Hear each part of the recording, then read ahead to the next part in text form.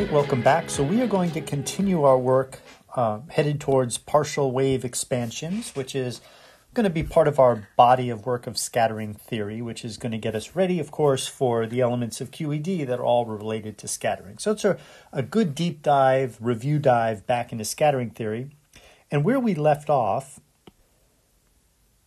was we had completed Laplace's method and understood how to do an asymptotic expansion of a function of a real variable when it was given by an integral representation. And you'll notice it was a real integral representation.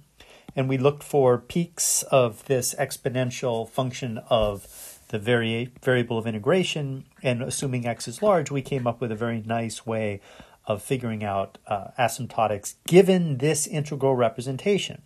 And then we shifted from that into the method of stationary phase, where we again were looking for inter, uh, for asymptotic forms, but now the integral representation involved this complex uh, argument for the exponential, and that was a lot of fun, and that was able to get us uh, warmed up about contour integration. And I'm really going to spend a lot of time covering different contour integrals because I really feel like that is a soft spot that uh, students have approaching this this subject. So we're going to do a bunch more contour integration. Although the one we did was actually pretty good, but we haven't done, for example, a theory of residues. You know, uh, residue and uh, uh, I guess it is called the theory of residues. But um, uh, so this was really important. Now the next one we're going to do, but again, you had to have in order for this to apply, the function of interest, right? We want the asymptotics for this function i, but you need to be able to express the function i as an integral, right? As an integral. And that seems like it's unusual, but it's not. There's a lot of integral representations for a lot of different functions. For example, this is sort of an obvious integral representation for sine of z. Seems a little weak because you've got cosine z in there, but there are others. I just chose this one because it was real the others involve complex integrations that we're going to talk about today. But the point is, we studied this method of stationary phase and we insisted on a certain kind of integral representation. Now, today, we're going to begin in principle the method of steepest descent, which now involves, again, we're looking for the asymptotic form of a function that is given as an integral representation, but this time the integral representation is over a complex variable dz, and the functions inside g and this function, the argument f, can both be complex, and you're dealing with a complex contour integration. So before we actually process this, which, you know, now that we know the two others, it's not going to be too hard. You know, we, we split it f of z into a real and a complex part, and then we have sort of a combination of stationary phase with Laplace's method. It's a little more subtle than that, but uh, that is what we're going to be aiming for. But we kind of have to believe that we have a contour representation of the function we care about. Remember, we're interested ultimately in the spherical Hankel function of the first kind, right? And we need to make sure we're comfortable with an integral representation. So any effort to understand the method of steepest descent's application to our case, which is this Hankel function, uh, the spherical Hankel function, now depends on. See, we've already gone down a rabbit hole, right? The rabbit hole is to understand the asymptotic form of this guy so we can kind of own it in our minds. Well, the first step to owning it is to apply the method of steepest descent to an integral for, integral representation of the Hankel function.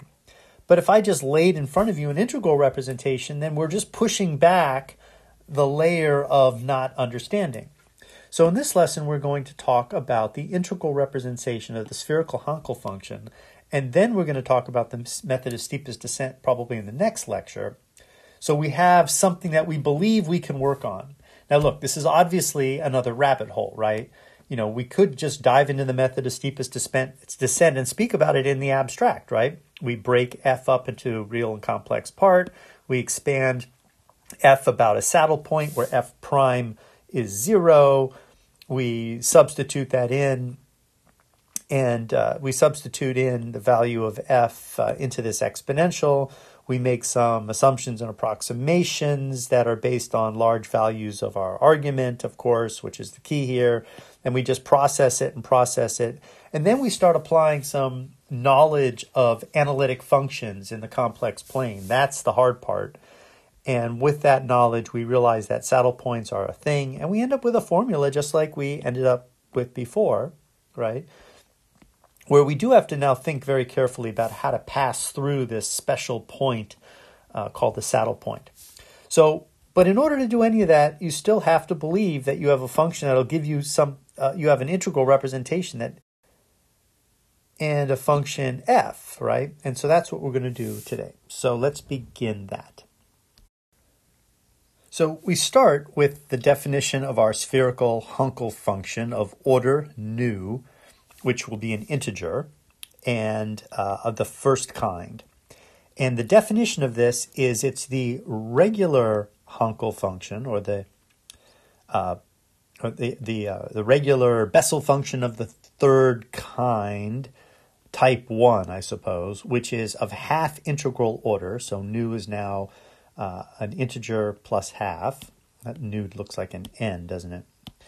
And this uh, this is a, and then this function multiplied by the square root of pi over 2z. So that's our that's by definition, right? So this is how this thing is defined.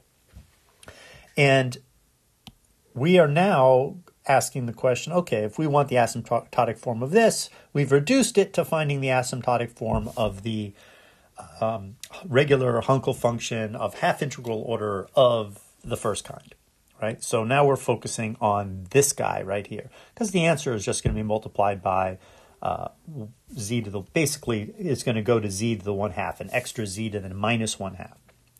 So now how do we attack this? Well, once we're in the realm of the regular Bessel functions, meaning the Bessel function of the first kind, second kind, and third kind, um, we can always just study the first kind, uh, presume the second kind, and, and just use the combinations of the first and second kind to get the third kind. So we know that the differential equation for the Bessel function, the ordinary Bessel function, is this guy right here. You remember the spherical Bessel function had a, a 2 here, right, which made a lot of difference, right? That was a big difference. And um, uh, but we know that we can get from this differential equation through the method of Frobenius, right, to this series solution result. And that's you know, that's a rabbit hole that if you haven't gone down, you're supposed to go down because you're supposed to feel comfortable with a Frobenius method.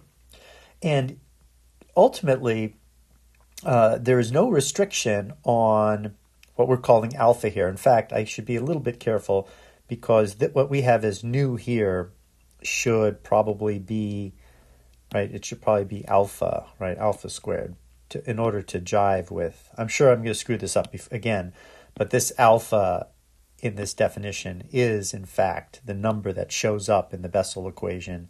Uh, in this part of the differential equation, right? This minus alpha squared. It's a constant. And in our work, you know, this constant looked like uh, L, L plus 1, you know, in various times, but it doesn't have to, right? This could be any number.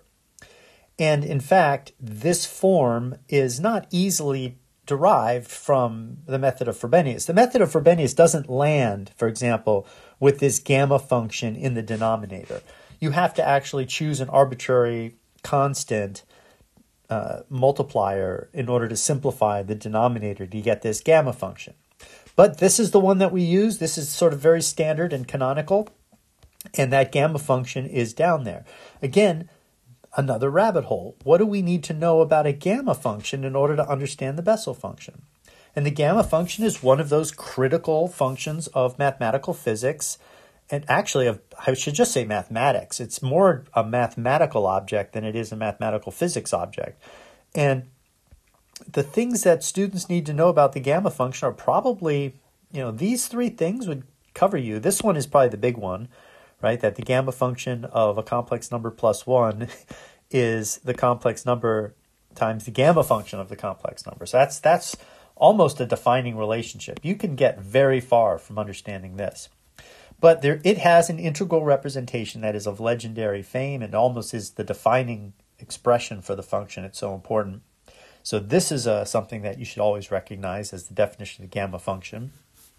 And it does show up quite a bit. It shows up with weird things in these integrals that when you make some variable weird things in these arguments, these exponentials, and when you make certain variable transformations, you can end up with this gamma function.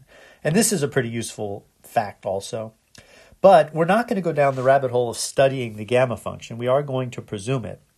But there is one relationship of the gamma function that you have we have to believe, right? You know, we could rabbit hole this thing and figure it out, but the gamma function itself, the reciprocal of the gamma function, has this very famous integral representation, and it's a complex integral representation. T here is a complex variable, and this represents a complex contour.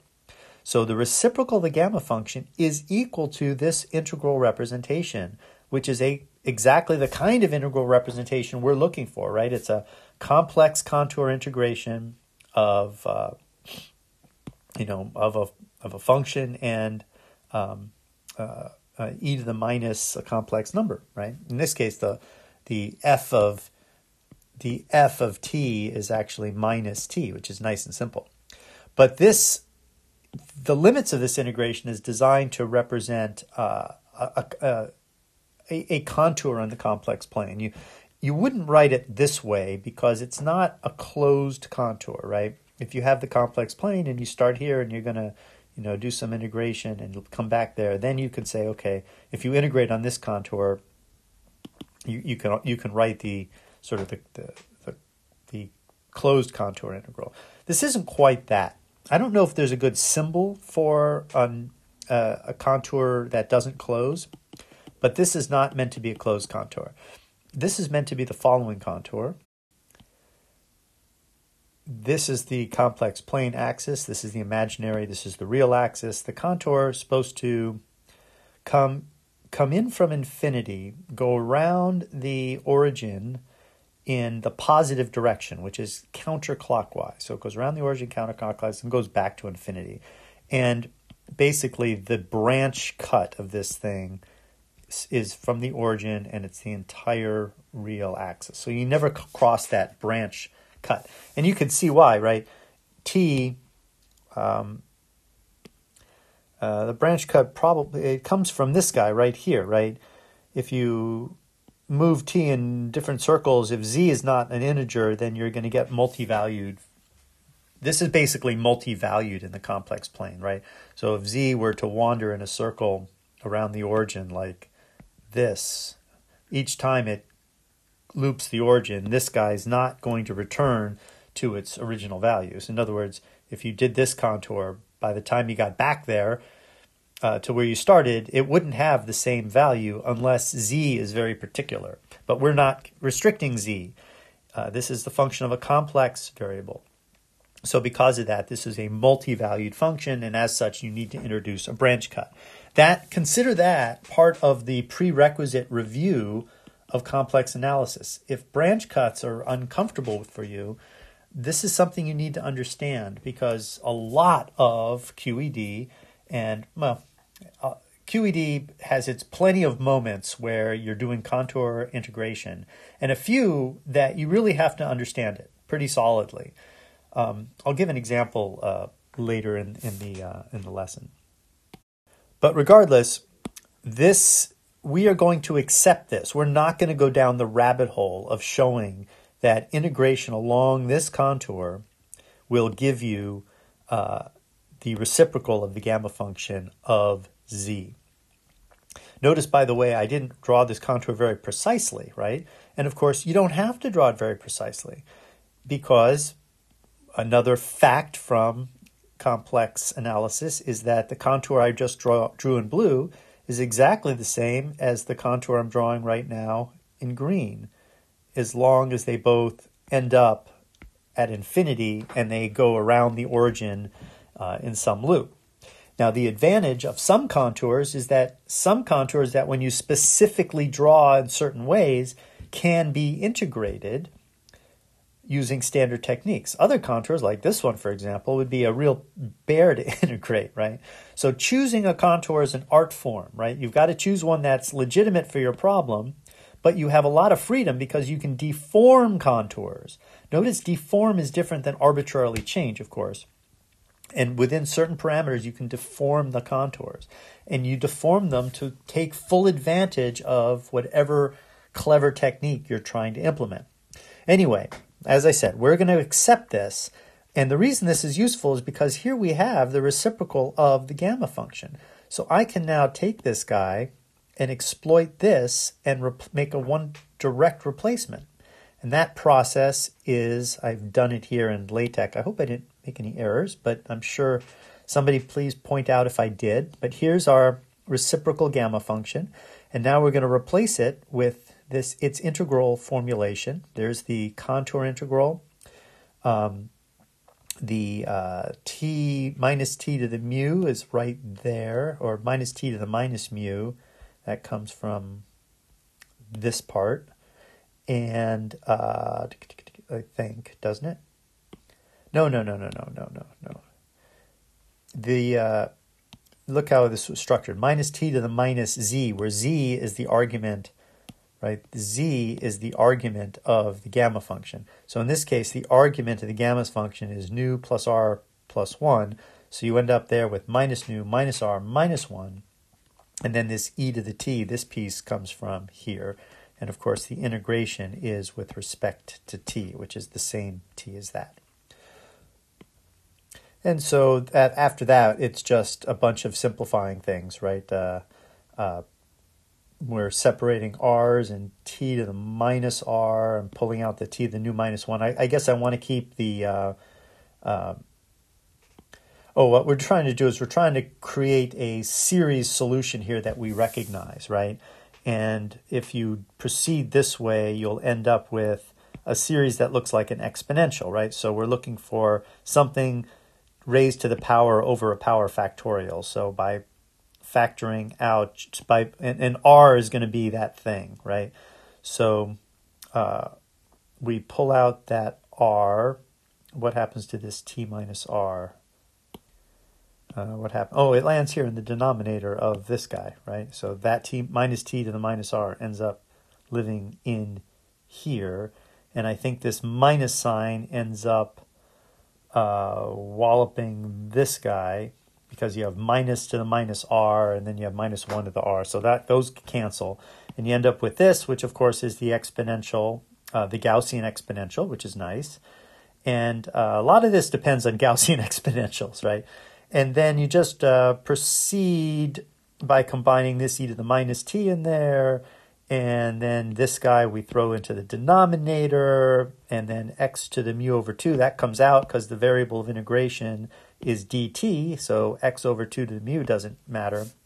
And so this this is actually a completely legitimate integral representation of j mu of x.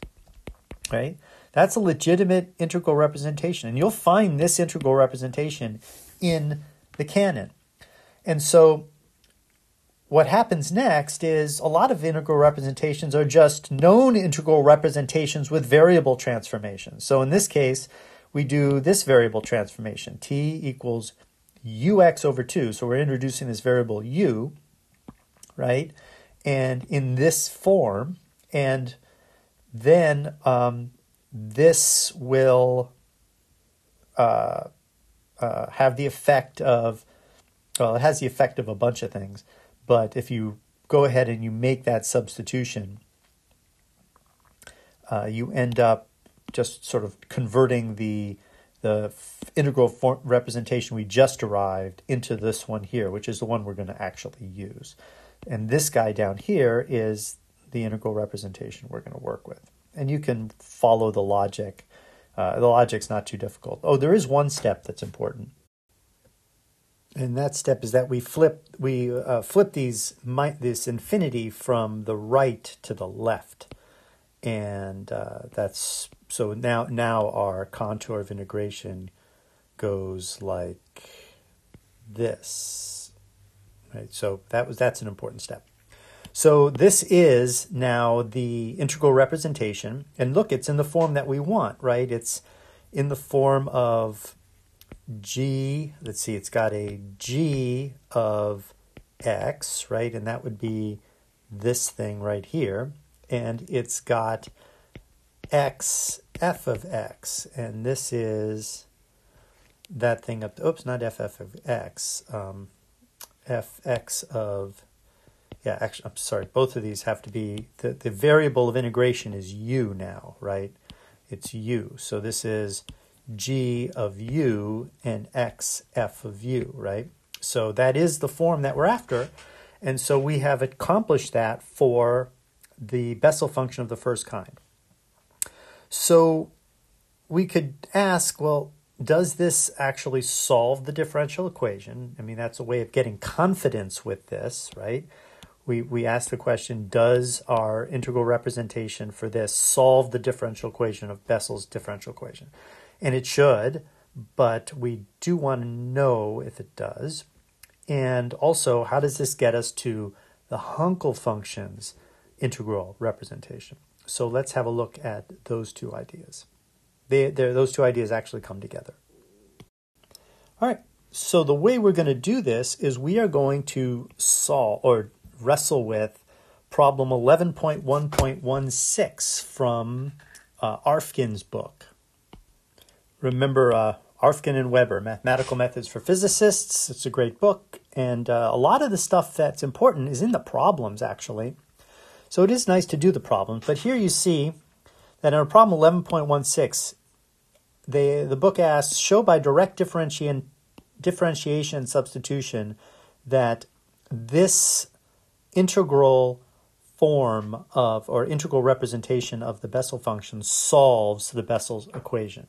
And notice uh, there's an equivalent version here, and this is the one we we derived first, right? And then we converted we converted this guy into this guy, but we're going to work with this version of it. And they, they give you, they tell you, they say direct differentiation and substitution. That means you're going to take this, this integral form, you're going to differentiate it appropriately and substitute it into Bessel's differential equation. But if you did that, it actually would be pretty hard um, because you would just end up with uh, a really big mess of things, and you would still have to figure out the integral along the contour. So, Arfken, understanding that this is difficult, says, So I'm going to tell you the secret here, the hint. Show that the total integrand, after you substitute this into Bessel's differential equation, may be written as a total derivative. And then he gives you the literal total derivative here. What's important is that, you know, this hint didn't have to do this, right? This hint could have stopped here. And it would have said, after substituting into Bessel's differential equation, the integrand is actually a total derivative. So we have to understand what is the advantage of being a total derivative, and how do we show that the integrand is a total derivative? But bec- so it's a little unclear what Arfken wants in the sense that uh, giving you this hint is very, very helpful by, by providing the total derivative that this integrand is supposed to be. And we're going to fully exploit this because actually, to be honest, I don't know how to, to do it otherwise. With this, I can do it, but without it, I can't. But the point is, we just got to show it and we got to understand why is this important. So that's what we're going to do. Oh, here's the contour, by the way, the new contour. Still, it's, it's notice it's still counterclockwise, but it goes from minus infinity cl- counterclockwise. Now the branch cut is along the negative branch, right? Okay, so let's begin uh, by looking at substituting this cat directly into the differential equation. And the way we'll do that is we take the Bessel function and we just write it down. This is our integral representation. And then its first derivative, notice it's with respect to x, right? So it's not very difficult to take the first derivative, but that derivative slips through the integral, which is really important. And we end up with this expression for the first derivative. And the second derivative just brings down another factor of z minus 1 over z over 2. So you end up with this 1 fourth. And so now we have these three uh, the, the Bessel function, its first derivative, and its second derivative. And what's our assignment? Our assignment is direct differentiation. Well, we've done that. Now insert it into the differential equation. Um, so I don't need this. So we here's the differential equation. We got this. We're going to insert that from there. We're going to take this. We're going to insert that from there. We're going to take this from the beginning. And we end up with this integral, right? Uh, taking these guys, substituting in here, gives us this long integral right here. And this is a bit of a of a mess, right? I mean, there's a lot going on here. You still have to execute the integration. So the trick, uh, evidently, is to show that the integrand is a total derivative of something. That means there's some function out there, right? There's some function f of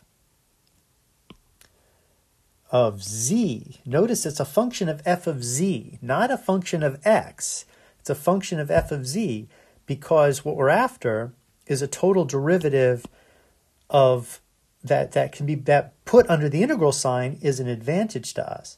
So there's some function out there f of z such that d by dz of this function f of z gives you this mess right in here. Now, can you do that? Can can uh, is there anybody watching this that is got the chops to figure out from just looking at this, right? There is a procedure that is very helpful to do this. Uh, something a, a, sort of a generalized um, a generalized Laplace transformation. It's an interesting procedure, but we're not going to do it. But just by looking at this, and certainly Arfken didn't expect us to do that. But can you tell that there is a function out there, f, such that d by dz of f is this integrand? Because if there was, what would happen? Well, if there was, then you would replace the integrand by d by dz of f of z dz. And that's basically by the fundamental theorem of calculus. I kind of did a lot of extra work here, but by the fundamental theorem of calculus, that would just mean that the result of the integral is just the value of x at the two endpoints of the contour. That's just the fundamental theorem of calculus works in um, complex analysis uh, just as it does in real analysis. So you would just take that function f of t, if you knew what it was, and evaluate it you know, uh, at minus infinity e to the minus i pi and infinity e to the i pi, which is exactly these two endpoints here, right?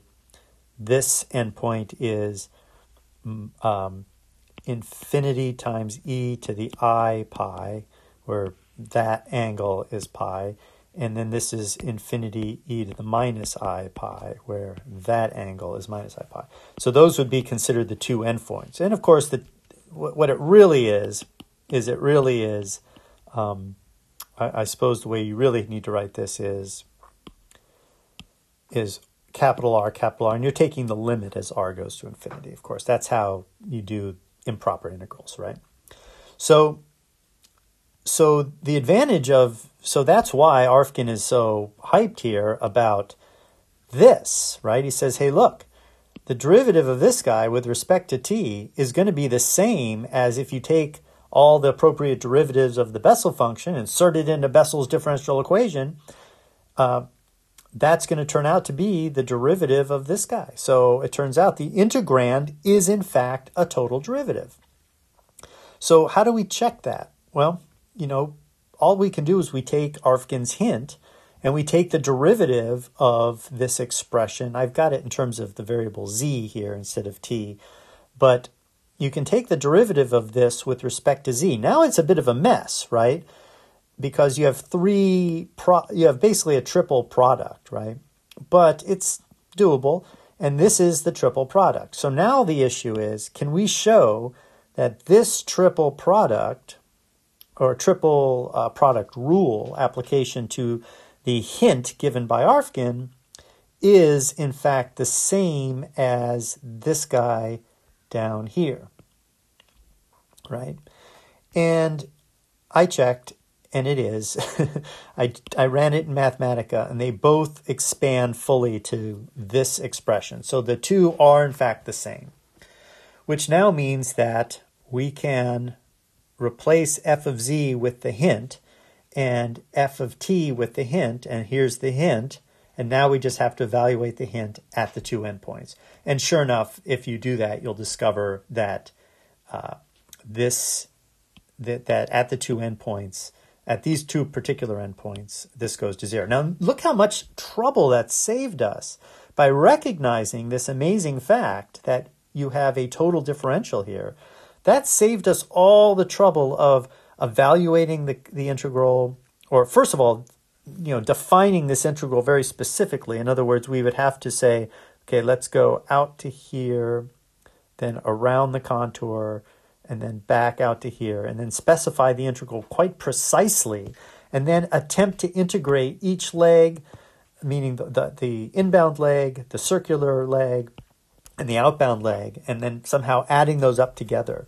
Um, you know, it's definitely most contour integration is in fact done that way, and we will be doing some that way. But once you recognize this, you know, you save yourself all that trouble, and all you have to do is check it at the endpoints. And that's what Arfken's problem wants you to do. So now that just shows, so I guess in summary, right? We've ta- we've definitely let me erase everything. We've definitely taken we did the obvious thing, right, which was which was took the appropriate derivatives, put them in Bessel's differential equation and got a large expression. And then we exploited this observation which was gifted to us by Arfken and we discovered that yes indeed um, this integral representation, those derivatives, they match this beautiful total derivative, which uh, evaluates to zero at the two endpoints. So, indeed, the, this integral representation is, in fact, a solution of Bessel's differential equation. So, now we've got a solid, believable representation for uh, the Bessel function. That's of exactly the form we want. So now we have to turn this into a form that uh, represents our Hankel function. And we are going to lean on this, whoops, where is it? Uh, up here. We are going to lean on this gifted total derivative to do that. So let's have a look at the next step. All right, so we'll take this uh, snapshot out of uh, Arfken's book. I need to credit that book, of course, if I'm going to use their problem. And uh, so we've we've got our we're we're, we're happy with our Hankel contour representation of the Bessel function. Ignore this. This is yet a different representation of the Bessel function, but we're dealing with this guy right up here, and we're happy with that. And we know that when that when this integration is executed along this specific contour, we uh, we solve Bessel's differential equation. Now, the part of complex analysis that comes in is we can now deform this contour anywhere we want. As long as we end up at infinity there, you know, this contour here is also just as legit, right? And in fact, so is, say, this contour, right? Well, I guess that's absurd. Of course, those two are the same. They're meant to be arbitrary with the uh, condition that nobody crosses the branch cut, right? And you don't, uh, you don't. Well, crossing the branch cut's the big, the big deal. You can't do that. So now we're going to ask the question: Is well, is there anywhere else along this contour where the value is zero? Because if there was, we could, we could, uh, we could take the contour and we could shorten it, right? We have e to the minus i pi here, and we have infinity e to the i pi up at top. But if somewhere along this contour there was another zero, say there's this point for some reason, this point right here, say uh, our function, our function of which the total derivative is our integral, right? This is the function, I guess we're going to call that function f of t. You know, if in our our integral is d by dt of f of t by some miracle, that seems to be the case, uh, if we found another point where f of, say, call that point p, f of point p equals zero, then this contour from my, uh, from infinity e to the minus i pi, this contour would also satisfy Bessel's equation, right? But there is no such point along the contour as drawn, right? As drawn, uh, the only points along the contour as drawn are these two out here. The good news, of course, is we can deform these contours, which I pointed out a moment ago. So is there another point in the complex plane where our function f of t, not d by dt of f of t, but f of t, uh, goes to zero? And so we are going to look at the function and say, okay, is, can we find another point t other than these infinities where it's where this this guy here is zero, and we're going to choose the point t equals zero, right? What if, what happens at t equals zero? Well, this term here obviously blows up, so t equals zero literally isn't going to uh, do it. But as t approaches zero, as the complex number t approaches zero, this becomes a tremendously big number, but you got that negative sign, right?